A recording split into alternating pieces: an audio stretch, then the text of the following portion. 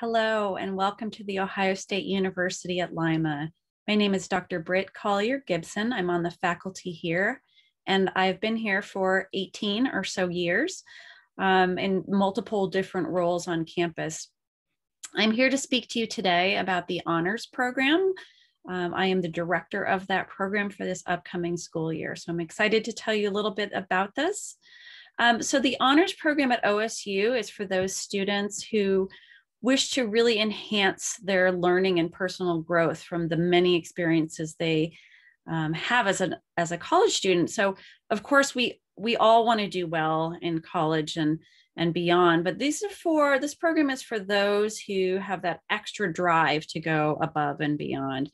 It's a program of academic rigor and it's intended to really enrich the academic and personal experiences there um, for those who are motivated to do so. So the honors program is part of what we call the CLP or the cumulative learning programs. And these programs are on our campus to help us define um, who we are.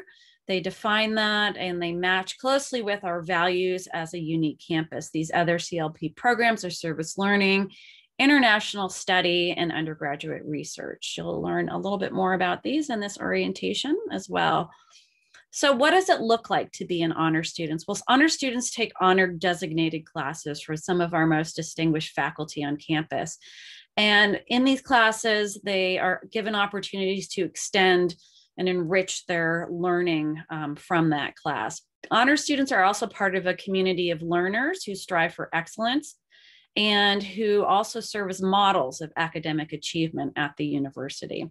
Honor students extend their gained knowledge and skills through collaborations with the richest intellectual and cultural life in our surrounding communities and even beyond that. So in, in gist, um, the honor students are provided opportunities on campus and off that give exposure and experiences that heighten awareness, accelerate understanding, and foster agency. Students um, of honors status have fun uh, through the excitement of challenge and the thrill of achievement, we celebrate this through enjoyable experiences together. So the honors program is an opportunity for students coming into OSU Lima that have an achievement um, level from their high school. So there is a GPA of 3.4 or higher um, needed. We're also asking for an ACT score of 26 or higher and for students who were ranked at the top 20% of their graduating class. So all of these folks are encouraged to apply. There's an application process um, for those interested students to be part of this program. After submitting the application um, and upon faculty review, a letter can, will be sent um, giving full honors status and acceptance or an invited status, meaning that you don't have the H or honors designation, but you do um, have access to all the honors events and opportunities. And then um, students who hold this 3.4 GPA at OSU can apply for this program anytime during their college career. Um, the students who are admitted agree to standards of involvement, including enrollment in honors courses. The required number of courses varies depending on the major. Um, of course, we want you to maintain academic excellence um, throughout your semesters at OSU. We'd like engagement in our honorific activities throughout each academic year and a participation in an annual review to ensure that you are continuing to meet standards um, to be a part of the program.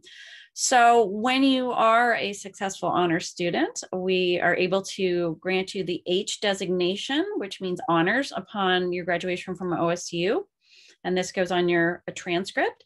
Um, in the program, you have opportunities for awards, tuition awards, graduation awards, book awards, and that's a bonus to, to being involved. Um, and those that are accepted into the program, um, we will be meeting and we'll be um, coming together and forming our plans and setting ourselves on the course for this next year.